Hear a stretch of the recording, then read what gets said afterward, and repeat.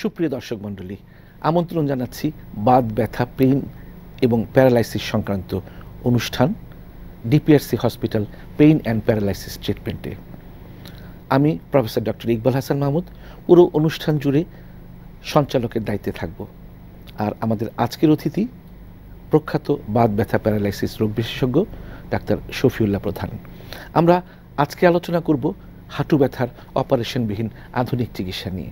কারণ হাঁটু এমন একটি জয়েন্ট যে সারা শরীরের বোঝা বহন করে।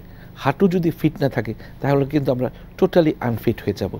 সেই আনফিট যাতে না হই সেজন্য অনেক কথা আমরা ডক্টর শফিউল্লাহ প্রধানের কাছ থেকে শুনব। ডক্টর শফিউল্লাহ প্রধান অনুষ্ঠানে স্বাগত জানাচ্ছি। কেমন আছেন? আলহামদুলিল্লাহ ভালো অনেক ভালো আছি। আপনি কেমন আছেন? ভালো আছি আলহামদুলিল্লাহ। যে কথা আমি ভূমিকায় বলছিলাম যে হাঁটু এমন একটি জয়েন্ট যে সারা শরীরের ওজন বহন করছে ওয়েট বিয়ারিং জয়েন্ট এই হাঁটুর ব্যথা হলে তো আমরা নাকাল হয়ে যাব। তো হাঁটুর ব্যথা নিশ্চয়ই অনেক কারণ আছে। তো কারণগুলি শুনে নিতে চাই। ধন্যবাদ আপনাকে। আসলে হাঁটু রুগী এমন বাংলাদেশ তো আছি সারা ওয়ার্ল্ডে বেরিয়ে চলছে এবং হাঁটু ব্যথা নিয়ে এমন কোনো লোক নেই যে একটা বয়সে গিয়ে হাঁটু ব্যথা সে ভোগে না। সেটাই।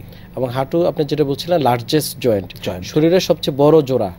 এবং এখানে সবচেয়ে মানে যেটা হচ্ছে আমরা যখন বসে থাকি তাছাড়া হাঁটা চলাফেরা মানে মুভমেন্ট যখন দরকার হয় তখনই হাঁটুর বিশাল ভূমিকা এবং যে কোনো অ্যাক্টিভিটি নামাজ পড়া থেকে শুরু করে আমাদের যে কোনো কাজে সিঁড়ি বাওয়া নিচে বসা যে কোনো সব কর্মকাণ্ডে পেশার ক্ষেত্রে হাঁটুর ভূমিকা। বিশাল ব্যাপার আছে। আর তার ভিতরে আমরা হাঁটু ব্যথা যে রুগীগুলো সবচেয়ে বেশি পেয়ে থাকি এবং আমাদের ডিপিআরসি হাসপাতালে এবং সারা ওয়ার্ল্ডই যে রুগী সবচেয়ে বেশি হয় সেটা হচ্ছে অস্টিও জনিত সমস্যা। আচ্ছা। আমি যদি বাংলায় বুঝাতে চাই সেটা হচ্ছে হাঁটু ক্ষয় রোগ বা- আর্থ্রাইটিস যখন থাকছে আইটিস একটা প্রদাহ কি থাকছে? ইনফ্লামেশন অবশ্যই ইনফ্লামেশন অস্টিওআর্থ্রাইটিস মানে হাড় ক্ষয়জনিত ইনফ্লামেশন যার কারণে হাঁটুতে ব্যথা হবে এবং যেটা হচ্ছে দুই হাড়ের মাঝখানে যে আপনার কার্টিলেজ থাকে এই কার্টিলেজটা আস্তে আস্তে ইরোশন হয় বা ক্ষয়প্রাপ্ত হয়। আচ্ছা। হতে হতে কার্টিলেজটা টোটালি ড্যামেজ হয়ে যায় এবং আপনি জানেন জোড়া হাঁটুর ভিতরে একটা প্রকার সাইনোভিয়াল ফ্লুইড থাকে পিচ্ছিল কারক। পদার্থ সেটা গ্রিজ হিসাবে কাজ করে এবং সেটা মুভমেন্টে আমাদের হেল্প করে। এই গ্রিজটা তখন প্রোডাকশন বন্ধ হয়ে যায়। কারণ হচ্ছে এই আর্থ্রাইটিসের কারণে যখন তার ইরোশন হচ্ছে তার যে ফাইব্রো ক্যাপসুল থাকে ক্যাপসুল ইরোশন হচ্ছে। কার্টিলেজগুলো ক্ষয় হচ্ছে আস্তে আস্তে ফ্লুইড প্রোডাকশনটা বন্ধ হয়ে যায়। এবং যত দিন যা যেতে থাকে আস্তে আস্তে আস্তে রুগীগুলা ব্যথা বেদনা এবং এখানে শুধু ফ্লুইড প্রোডাকশন প্লাস এই ব্যথা বেদনার কারণে রুগী যখন চলাফেরা মুভমেন্ট কমিয়ে দেয় তখন কিন্তু আস্তে আস্তে অ্যানকালোজিস হয়ে যেতে পারে বা জোড়াটা অ্যানকালোজড হয়ে যায়। লেগে আসতে। পারে। এবং সেক্ষেত্রে শুধু হাড় না চারপাশে যে মাংসপেশি ওগুলো আস্তে আস্তে শর্ট হয়ে আসতে পারে। এবং দেখবেন আমি প্রায় রুগী পেয়ে থাকি যে হাঁটু ব্যথা হয়েছে চেয়ারে বসে নামাজ পড়ছে। দীর্ঘদিন বছরের পর বছর। নামাজ নিয়ে অনেক কথা শুনব আপনার কাছ থেকে। আমাদের কাছে বেশ কয়েকটি চিঠি এসেছে ওয়েবসাইটেও বেশ কয়েকটি প্রশ্ন এসেছে। আমি জাস্ট দুটো প্রশ্ন দুজনের প্রশ্ন একই রকম তাই দুজনের প্রশ্নটাকে আপনার কাছে সামনে তুলে ধরছি।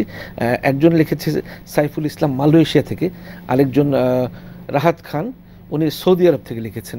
দুজনের প্রায় একই রকম সমস্যা। অনেক দিন ধরে হাঁটু ব্যথায় ভুগছে। এখন হাঁটু ব্যথায় নামাজও পড়তে পারছে না। মানে যে দৈনন্দিন যে স্বাভাবিক কর্মকাণ্ড, সেটাও করতে পারছে না, বসতে পারছে না। এখন আপনার শরণাপন্ন তারা হতে চায়। কীভাবে যোগাযোগ করবে বা কি করবে তারা? অবশ্যই আসলে হাঁটু ব্যথা যেটা হচ্ছে দু- দুজনের কথা বলছিলেন তারা এই রুগীগুলা বেশিরভাগ আমি প্রায় রুগী পেয়ে থাকি এবং আমার এই জাতীয় অনেক রুগী এবং যারা ভালো হয়ে হয়তো চলে গিয়েছে অথবা গিয়ে হয়তো আমাদের ঠিকানা দেয়। যেমন সৌদি আরব বা মালয়েশিয়া যে- ভদ্রলোক দুজন আছে তাদের কিন্তু ওখানে কিন্তু অনেক বিভিন্ন পারিশ্রমিক কাজ করতে হয় পরিশ্রমিক যেমন উঠ বসের কাজ বিভিন্ন কাজ করতে হয় অথবা তারা এমনও কিছু কাজ করে যে সারাদিন বসে আছে। যার কারণে হাঁটুতে বা শরীরে বিভিন্ন সমস্যা হতে পারে। তো আমার মনে হয় তারাও কিন্তু অস্টিও আর্থ্রাইটিস বা যেটা হাড় ক্ষয়জনিত সমস্যায় ভুগছে এই ক্ষেত্রে কি হয়? হাড়ের যেটা আমি বলছিলাম যে কাটিলেস আস্তে আস্তে ইরোশন হয়ে যায় এবং এই মুভমেন্টের অভাব যে আমি বলছিলাম নামাজের ব্যাপারটা যে মুভমেন্ট করে না বা চেয়ারে বসে থাকে যেহেতু হাঁটু ভাঙলে কষ্ট হয় সিঁড়ি বাইতে গেলে কষ্ট হয় বা বা মুভমেন্ট করা টোটালি বন্ধ করে দেয়। এই যে বন্ধ করার কারণে হাঁটুটা আরও বেশি ক্ষয় হতে থাকে এবং নষ্ট হতে থাকে এক পর্যায়ে ইরোশন হতে হতে দুইটা অ্যাঙ্কালোসিস হয়ে যায় তখন কিন্তু রুগী আর মানে ব্যথা তো আছেই পাশাপাশি সে স্বাভাবিক হাঁটতে পারবে না। সে কিন্তু হেলে দুলে তাকে হাঁটবে। মুভমেন্ট করতে হবে। হ্যাঁ অবশ্যই মুভমেন্ট করতে হবে। মুভমেন্ট যাতে না করা হয় আরাম হাঁটুকে যাতে আরাম দেওয়া হয় সেই জন্য একটা ট্রেন্ড হয়ে গেছে এখন বসে বসে নামাজ পড়ার একটা যেটা তো আসলে পড়ার কথা না। হ্যাঁ আমি যেটি বলছি আসলে যখন হাঁটু ব্যথা আপনি বলছিলেন ইনফ্লামেশন হয় বা আইটিস যেটা ইনফ্লামেশন ইনফ্লামেশনে কি হবে? ব্যথা হবে। ভিতরে একটু সয়েলিং হতে পারে একটু গরম হয়ে যেতে পারে। তো এটা হচ্ছে একটা একিউট স্টেজ। তো এই স্টেজে আমরা হয়তো বসি আপনি বেশি মুভমেন্ট না করতে। কিন্তু রুগী কি করে এই নামাজ চেয়ারে বসা যে শুরু হলো এটি চলতে থাকে। তার স্টেজটা চলে গেছে সে কিন্তু আর মুভমেন্টে যাচ্ছে না। এই যে না যাওয়ার কারণে এই যে ইনফ্লামেশনটা চলে গেল ইনফ্লামেশনটা হওয়ার কারণে ভিতরে যে তার কার্টিলেজ ইরোশন হওয়ার কারণে দুই হাড় কিন্তু জোড়া লেগে যাচ্ছে। এই জন্য এই এই নামাজ পড়ার ক্ষেত্রে বা নিচে উঠা বসা না করার ক্ষেত্রে আমরা কিছুদিনের জন্য বলি অল্প কিছুদিন। এটা পাঁচ মানে কয়েকদিন বা কয়েক সপ্তাহ।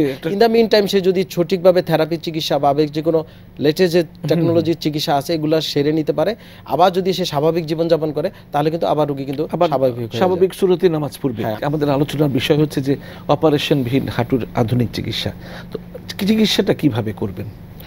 ধন্যবাদ আপনাকে। এখানে হাঁটু ব্যথা যেটা আমরা বলছিলাম যে বেশিরভাগ রুগী তো। বেশি আমরা পেয়ে থাকি। তাছাড়া আরও কারণের ভিতরে অনেক আছে আমরা সেটা হ্যাঁ, আসতেছি পরে। এই ক্ষেত্রে আমরা যেটা করি প্রত্যেকটা রুগীর অ্যাসেস করে দেখি। এখানে প্রয়োজনে এক্স রে এমআরআই করলে বোঝা যায় তার কার্টিলেজটা কতটুকু ইরোশন হয়েছে। তো ইরোশন অ্যাকর্ডিং টু ইরোশন তাকে আমরা বিভিন্ন প্রকার ইলেকট্রোম্যাগনেটিক রেডিয়েশন দিয়ে থাকি হাঁটুতে। আচ্ছা। যেমন ইন্টারফারেন্সিয়াল থেরাপি যেটা খুব কাজ করে ভিতরে সার্কুলেশন বাড়াবে হাঁটুর ভিতরে এবং মাসেল যে আপনি জানেন কোয়াড্রিসেপস হ্যামেস্ট্রিং এবং যে সকল লিগামেন্ট আছে এগুলাকে স্ট্রেনদেন করবে। এই সকল এক্সারসাইজ এবং ইকুইপমেন্টের মাধ্যমে। এতে কি হয়? ভিতরে যে সাইনোবিয়াল ফ্লুইডটা আছে আবার রিপ্রোডাকশন হয়। আচ্ছা। আপনি ট্রিগারিং যদি না করেন তাহলে কিন্তু হবে না। আপনি যদি। শীতকালে দেখবেন আপনি যদি খেজুর গাছ না কাটেন তাহলে কিন্তু রস আসবে না। বেরোবে না। তদ্রুপ আপনাকে হাঁটু দিয়েছেন। হ্যাঁ হাঁটুতে আপনাকে ট্রিগার করতে হবে। ট্রিগারিং এর জন্য আমরা বিভিন্ন ইকুইপমেন্টাল বিভিন্ন থেরাপি দিয়ে পাশাপাশি এক্সারসাইজ করাই। এক্সারসাইজ করালে সাইনোবিয়াল ফ্লুইডটা আবার রিপ্রোডাকশনে যায়। আর পাশাপাশি সেটা হচ্ছে আমাদের কিছু অন্য কিছু দরকার যেমন ভিটামিন ডি টেস্ট করে আমরা দেখি তার ক্যালসিয়ামের লেভেলটা কি আছে যদি লাগে। আর একটা হচ্ছে থেরাপিউটিক একটা সাপ্লিমেন্ট আছে আপনি জানেন গ্লুকোসামাইন কন্ড্রোটিন সালফেট যেটা হচ্ছে কার্টিলেজের জন্য খুব খুবই ডিজিজ মডিফাইং ড্রাগ মধ্যে পড়ছে না এগুলো হচ্ছে থেরাপিউটিক সাপ্লিমেন্ট ফুড সাপ্লিমেন্ট যেটা বলা হয়। এগুলো খুব ভালো কাজে দেয় এবং পাশাপাশি যেমন কার্টিলেজ যে যে ইরোশনটা হয় বা কার্টিলেজ রিপ্রোডাকশনের জন্য থেরাপিউটিক সাপ্লিমেন্টগুলো খুব দরকার। ভিটামিন ডি দরকার ক্যালসিয়ামের ঘাটতি থাকলে সেটা দিতে হবে পাশাপাশি গ্লুকোসামাইন দরকার এগুলো দিতে হবে। আর আরেকটা যেটা হচ্ছে মূলত এটা থেরাপি হচ্ছে মেইন নব্বই ভাগ চিকিৎসাই বাই থেরাপির মাধ্যমে থেরাপি নিয়ে ডক্টর শফিউল্লাহ প্রধান আরও অনেক কথা শুনব। একটি বিরতিতে যেতে হচ্ছে। সুপ্রিয় দর্শক, আমরা এখন ছোট্ট বিজ্ঞাপন বিরতিতে যাব। বিরতির পর আবার আপনাদের মাঝে ফিরে আসব। ততক্ষণ একুশের সাথেই থাকুন। আমরা জানি আপনার প্রিয়জন আপনার জন্য কতটা গুরুত্ব বহন করে। প্রপার ডায়াগনোসিস কনসালটেশন পেইন ও প্যারালাইসিস চিকিৎসা, পুনর্বাসন আমাদের সব আয়োজনই সবসময় আপনাদের জন্য চব্বিশ ঘণ্টা খোলা। আমরা চাই না আপনারা বারবার আমাদের কাছে ফিরে আসুন তবুও আমরা আছি সব সময় সর্বদা আপনাদের পাশেই।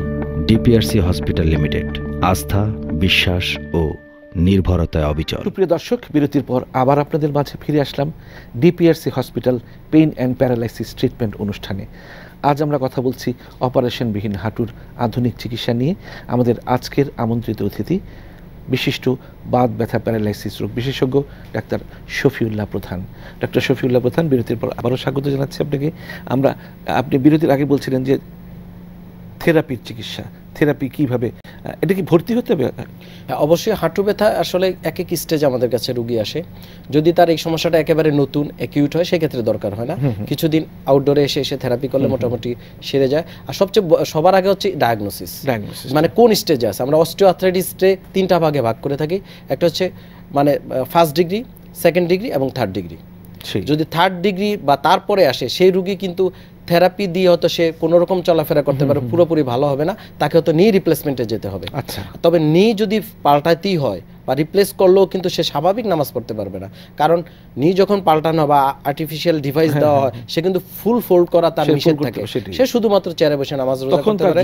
হ্যাঁ, তো- তখন সে নামাজ পড়তে হবে চেয়ারে বসে এবং নিচে বসতেই পারবে না। ইনস্ট্রাকশনই দেওয়া থাকে সার্জনও বলে দেয় আমরা বলে দিই। যে আর তুমি নিচে বসা নিষেধ না হলে কিন্তু হাঁটু খুলে যেতে পারে বা ওই জোড়াটা নষ্ট হয়ে যাবে।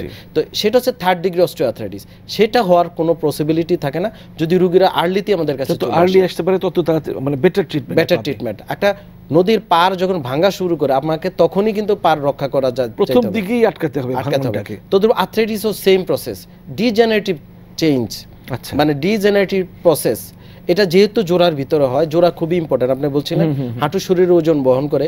তার ভিতরে যদি এটা হয় তখন রুগীর চলাফেরা বন্ধ হয়ে যাবে আস্তে আস্তে হাঁটতে পারছে। চলাফেরা যে কোনো কাজে বা সিঁড়ি বাইতে উপর নিচে যেতে তার কষ্ট হয়ে যাবে। শরীর মোটা তাজা খুব স্ফীত স্থূলকায় আমি বলতে পারি। তাদের কি হাঁটু ব্যথাটা একটু বেশি হয়? অবশ্যই, তাদের অবশ্যই হাঁটু ব্যথা বেশি হতে পারে এবং যাদের হাঁটু আসলে স্থূলকা রুগীদের যেটা হচ্ছে আগুনের ভিতর মানে ভিতরে একটা পানি ইয়া দেওয়া আর কি মানে তোল দেওয়া। আগুনের ভিতরে তোল দিলে যেমন ধাউ ধাউ করে হ্যাঁ, জ্বলে। ওঠে তদ্রুপ যদি কারও আর্থ্রাইটিস ও হাঁটু ব্যথা হয় তার ওজন যদি বেশি হয় তখন কিন্তু সে ওই জাতীয় সমস্যা পড়ে যাবে। সে টোটালি বিছনায় পড়ে যাবে। তো তার ক্ষেত্রে মানে এই ওজন কমাতেই হবে। অবশ্যই ওজন কমাতে হবে। ওজন বিশাল একটা ফ্যাক্টর এখানে কি ডিপিএসসি তে ওজন কমানোর কোনো হ্যাঁ আমাদের এখানে প্রসিডিউর আছে। আমরা বিভিন্ন মানে ডাইটিশিয়ান এবং আমাদের ডাইটের মাধ্যমে। আগে আমরা দেখি যে রুগীর ওজনটা কেন হয়েছে। অনেক কারণ। কোনো ডিজিজ আছে কি ডিজিজ আছে কিনা? যেমন অনেক রুগী আছে চলাফেরাই নেই সারাদিন বসে থাকে বা হাঁটু ব্যথা নিয়ে বসে থাকে। এই যে মুভমেন্টের অভাব সেই। যার কারণে আগে তারে তাকে আমরা উপদেশ দিই তুমি ওজন পরে কমাও আগে হাঁটু ব্যথা ঠিক করো। সেটি যদি হাঁটু ব্যথা না থাকে তাহলে সে রেগুলার হাঁটতে পারবে। অন্তত দুই থেকে তিন ঘণ্টা হাঁটলে ওজনও কমে যাবে। কমে আসবে এবং পাশাপাশি আমরা ডায়েট চার্ট দিয়ে দিই। ডায়েট যেটা হচ্ছে তার যতটুকু ক্যালোরি দরকার পার ডে সেই হিসাব করে ডায়েট চার্ট যদি দেয় এবং থেরাপি প্লাস এক্সারসাইজ এবং হাঁটুর ওজন কমানোর ক্ষেত্রে আমরা বিভিন্ন এক্সারসাইজ দিয়ে থাকি হ্যাঁ। এবং এই ক্ষেত্রে আমরা কিছু টিপস দিতে পারি যেমন ওজন কমানোর ক্ষেত্রে অ্যারোবিক এক্সারসাইজ খুব ইম্পর্টেন্ট অ্যারোবিক আচ্ছা। বলতে আমরা হচ্ছে যেমন দৌড়ানো সুইমিং। সুইমিং বিশাল খুব জোরে জোরে হাঁটা ফাস্ট ওয়াকিং এই যে যেটা দৌড়ানো একটু ফাস্ট Fast দৌড়ানো এটা কিন্তু খুব কাজে দেয় এবং ওজন আপনার ডিপিএসসি থেকে যে বইটি ছাপা হয়েছে আপনার লিখিত যে বইটি ছাপা হয়েছে এখানে হাঁটু ব্যথার ব্যাপারে কি বলেছেন? এখানে মানে ডিপ এই বইটার ভিতরে বাত ব্যথা সকল রোগ নিয়ে আছে এবং স্পেশালি হাঁটু ব্যথার বইটাকে আমাদের দর্শকদের হ্যাঁ, অবশ্যই এটা হাঁটু ব্যথার ক্ষেত্রে অনেক কিছু দেওয়া আছে যে হাঁটু ব্যথা সংক্রান্ত কি কি কারণে হাঁটু ব্যথা হতে পারে এবং বসার নিয়ম কি হাঁটু ব্যথার ক্ষেত্রে কি কি করা যেতে পারে কজ এবং ট্রিটমেন্ট মোটামুটি হাঁটু এখানে বাংলায় দেওয়া আছে। রুগীর অনেকাংশে এটা উপকারে আসবে। হাঁটু ব্যথার ক্ষেত্রে আপনি দেখবেন অনেক কিছু আছে। যেমন অনেকে নি সাপোর্ট ইউজ করে দেখবেন। হ্যাঁ হ্যাঁ হ্যাঁ। আমি টোটালি নিষেধ করি। নি ক্যাপ ইউজ করে। অনেককেই দেখি হ্যাঁ, করে। এটা এবং দেখা যায় বছরের পর বছর নিক্যাপ ইউজ করছে। এই যে নিক্যাপ দীর্ঘদিন ইউজ করার কারণে তার এই মাংসপেশিগুলো শক্তি হারিয়ে দুর্বল হয়ে যাচ্ছে। দুর্বল হয়ে পড়ে এবং সে রোগী আরও খারাপ হতে থাকে এবং হাঁটু ব্যথা দীর্ঘদিন হাঁটু ব্যথা থাকতে থাকে যখন সে ইমব্যালেন্স হাঁটে তখন আবার কোমর ব্যথা শুরু হয়। আচ্ছা। অ্যাঙ্কেলে ব্যথা শুরু হয়। মানে এক ব্যথা আরেক ব্যথা এমন কি হতে পারে হতে পারে। কোমর কোমরে আপনি যে প্রায় বলে থাকেন পিএলআইডি হয়েছে এই ব্যথাটা হাঁটুতে হচ্ছে এমন কি হতে পারে? সেটা হতে পারে সেটা আমরা দেখলে বুঝতে পারি যে অ্যাসেস করলে যে রেফার্ড পেইন যদি হয় যেটা হয়তো পিএলআই কোমরে ব্যথা নাই হয়তো হাঁটুতে ব্যথা হচ্ছে। হাঁটুতে ব্যথা আছে সেটা অ্যাসেস করলে বোঝা যায়। অনেক সময় হাঁটুতে অন্য অন্যান্য আরও বিভিন্ন কারণে যেমন ছোট একটা লিগামেন্ট ইনজুরি থেকে ব্যথা টিউবারকুলোসিস একটা বড়। আমরা কারণের ভিতরে যদি। টিবি বা বোন ক্যান্সার তা থেকে কিন্তু হাঁটু ব্যথা হতে পারে তবে সেক্ষেত্রে এই জন্য শুরুতেই ডায়াগনোসিসটা খুব ইম্পর্টেন্ট খুব গুরুত্বপূর্ণ। এবং এই ক্ষেত্রে আমরা হাঁটু ব্যথার যে আরও বিভিন্ন কারণ আছে যেমন আপনার যদি ক্রুসিয়েট লিগামেন্ট ইনজুরি হয় মিনিসকাস যদি ইনজুরি হয় তা থেকে হতে পারে। অনেক ক্ষেত্রে বিভিন্ন স্পোর্টসম্যান বা বিভিন্ন ডিফেন্সে বা বিভিন্ন বাহিনীতে যারা জব করে তাদের ট্রেনিং এ কিন্তু ইনজুরি হতে পারে। চলাফেরা ইঞ্জুরি হতে পারে। স্পোর্টসে যারা আছে বিভিন্ন প্লেয়ার তাদের ইনজুরি হতে পারে। ইভেন কি রোড অ্যাক্সিডেন্ট বা যে কোনো কাজে উপর থেকে পড়ে গেলে হাঁটুতে ইনজুরি যা- যারা মানে অনেকে আছে না আমাদের এখন তো অ্যাপার্টমেন্ট যে হারে উপরে উঠছে আকাশের দিকে উঠছে আটতলায় থাকছে লিফট নেই সিঁড়ি দিয়ে উঠছে তাদের কি হাঁটু ব্যথা হতে পারে? হ্যাঁ অত- অত্যধিক যদি এই জাতীয় বেশি তাকে পরিশ্রম করতে হয় বা বেশি স্টেপিং করতে হয় তা হতে পারে। তবে আমরা ন্যূনতম একটা মানুষকে যে তিন তালা পর্যন্ত সিঁড়ি বেয়া উঠতে বলি। সেটি। যদি এটা অত্যধিক হয় যেটা পাঁচ ছয় বা দশ তালা প্রতিদিনই তার কয়েকবার করতে হয়, সেক্ষেত্রে অবশ্যই লিফট ব্যবহার করাটাই শ্রেয়। কারণ অতিরিক্ত প্রেশার যখন পড়ে হাঁটুর উপরে কারণ যখন সে উঠে এখানে একটা বায়ো মেকানিক্স আছে। বায়ো মেকানিক্স হচ্ছে যখন সে উঠবে এক- একটা হাঁটুর উপরে প্রচণ্ড প্রেশার পড়বে। একটা হচ্ছে তার শরীরের ওজন আর একটা হচ্ছে গ্রেভিটি আচ্ছা। ভূপৃষ্ঠ যে আকৃষ্ট করে আমাদের। জি যে জি এর কথা আমরা বলি এই দুইটা একসাথে অতিরিক্ত ফোর্স পড়ে এবং ইনজুরি হতে পারে।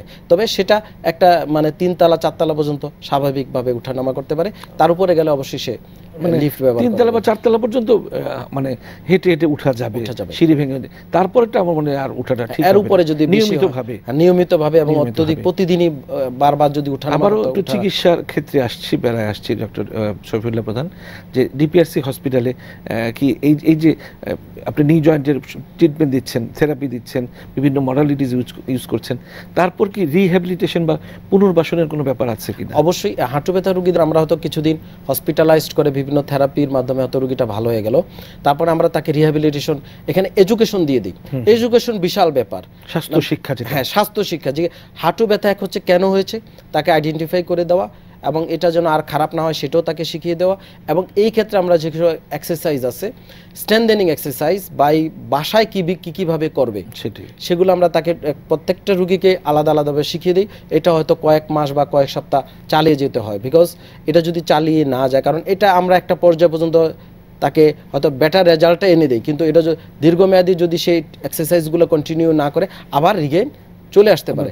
এই জন্য পুনর্বাসন বিশাল ব্যাপার এই ক্ষেত্রে। এবং পুনর্বাসন ওজন কমানো কমাতে হবে এটাও এক প্রকারের পুনর্বাসন। তাকে এডুকেশন ওজন বাড়তে দেওয়া যাবে না। না অবশ্যই দেওয়া যাবে না। যতটুকু আছে তা যেন মানে মেনটেন করা অনেক হ্যাঁ। ক্ষেত্রে অথবা বেশি হলে কমাতে হবে। ফেলা। এগুলো আমরা সকল রিহ্যাবিলিটেশন প্রসিডিউরগুলো রুগীকে শিখিয়ে দিই। আর নামাজ পড়ার ক্ষেত্রে হয়তো প্রাথমিক পর্যায়ে ছোট ছোট নামাজ মানে দুই দুই রাকাতের নামাজ উদ্ঘোষ করি পড়তে বলি। এবং বেশির বড় নামাজগুলা আস্তে আস্তে কন্ট্রোল করে রুগী নিজের থেকে বুঝে নিজে যে কীভাবে সে করবে কীভাবে কি। এটা জাস্ট একটা এডুকেশন দিয়ে দেয় এটা একটা ইনস্টিটিউট রিহ্যাবিলিটেশন বা যে আপনার পুনর্বাসন এটা খুব গুরুত্বপূর্ণ এই হাঁটু ব্যথা বা। কোমর ব্যথা সবকিছু ব্যথাতেই। সব ক্ষেত্রেই পুনর্বাসনটা বিশাল ব্যাপার। এবং আপনি দেখবেন এই রোগীগুলোর বয়স সাধারণত তিরিশ বা চল্লিশ পঞ্চাশ গিয়ে দাঁড়িয়েছে। একেবারে শেষ প্রান্তে ছোট্ট করে উত্তর জানতে চাবো যে বার্ধক্যজনিত সমস্যায় কি করা যাবে? এটা তো একটা একটা বার্ধক্যজনিত সমস্যা অনেক ক্ষেত্রে হতে পারে। হ্যাঁ অবশ্যই। বার্ধক্যজন যে বয়স্ক রুগীদের যেটা আমি বলছি এক্ষেত্রে যে আমরা বলছি যে বাই থেরাপির মাধ্যমে রুগীগুলা কিন্তু স্বাভাবিক ব্যথা বেদনা কমিয়ে আনা যায় মা সেলকে স্ট্যান্ডেন করা যায় এবং বার্ধক্যের ক্ষেত্রে আমরা ওই যে বাসায় বিভিন্ন টিপস দিয়ে থাকি বিভিন্ন গরম শেক দেওয়া বিভিন্ন প্রসিডিউর এক্সারসাইজগুলো শিখিয়ে দেওয়া হালকা হাঁটাহাঁটি করা এগুলি শিখিয়ে দিচ্ছে অবশ্যই এগুলা এতে সে বার্ধক্য হলো সে ভালো থাকতে পারবে। ডক্টর শফিউল্লাহ প্রধান অনুষ্ঠানে এসেছেন। আমাদের দর্শকদের এই হাঁটু ব্যথার অপারেশনবিহীন আধুনিক চিকিৎসা নিয়ে অনেক মূল্যবান কথা শুনিয়েছেন। কীভাবে নামাজ পড়লে রোগী ভালো থাকবে? কীভাবে চললে রোগী ভালো থাকবে? অনেক গুরুত্বপূর্ণ কথা শুনিয়েছেন। আপনাকে অনেক অনেক ধন্যবাদ। আপনাকে অনেক ধন্যবাদ। একুশে টেলিভিশনের সকল দর্শকদেরকে অসংখ্য ধন্যবাদ। নিয়মিত স্বাস্থ্য বিষয়ক আপডেট ও পরামর্শ পেতে আমার ইউটিউব চ্যানেলটি সাবস্ক্রাইব করুন ও উপরের ডান পাশের বেল বাটনটি চাপুন এবং আপনাদের অন্যান্য সোশ্যাল মিডিয়ায় এই ভিডিওটি শেয়ার করুন।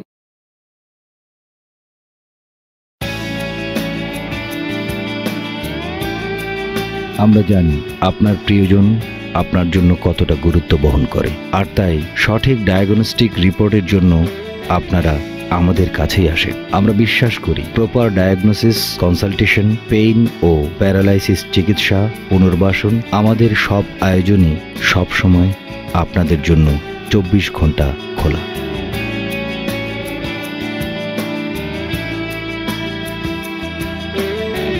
নির্ভুল রিপোর্ট অতি দ্রুত সময়ে আমরাই দিয়ে থাকি।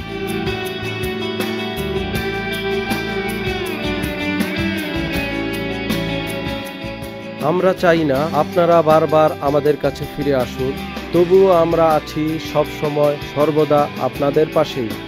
DPRC hospital and diagnostic lab. আস্থা বিশ্বাস ও নির্ভরতায় অবিচল।